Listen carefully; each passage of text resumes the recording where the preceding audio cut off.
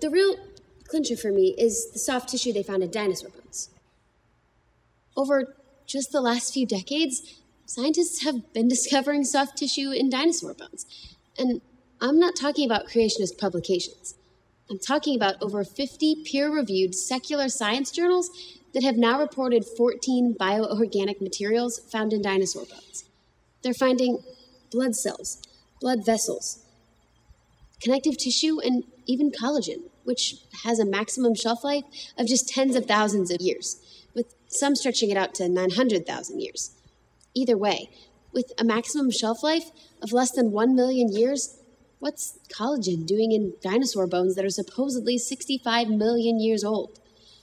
Many dinosaur bones are even found unfossilized in places like Madagascar, Alaska, and Montana.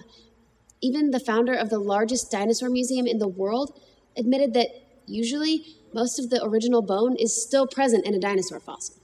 I mean, just look at how stretchy and pliable this dinosaur bone is. It sure doesn't look like a 65 million year old rock to me.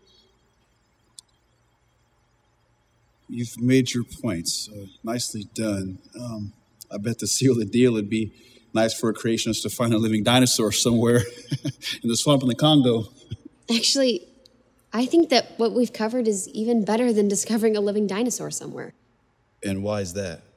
Well, if someone found a living dinosaur, it would be easy for evolutionists to explain it away. They would just say that evolution was idle for eons. They've already done this many times when so called living fossils are found. Like this live coelacanth someone hauled up in a fishing net off Madagascar in 1938. Before they found it alive, coelacanths were considered a key missing link between fish and amphibians, dating back to the time of dinosaurs and beyond. So, the reason that the discovery of dinosaur biomolecules, cells, and tissues is even better than finding a live dinosaur is that the laws of chemistry hold evolutionists accountable for claiming either that thermodynamics, the process by which tissues break down, were idle for eons, or even more far out, that the bioorganic materials are not even there. But because we know these bioorganic materials were present when they were living, and we still have them now, leaves undeniable evidence for Noah's flood staring the world right in the face.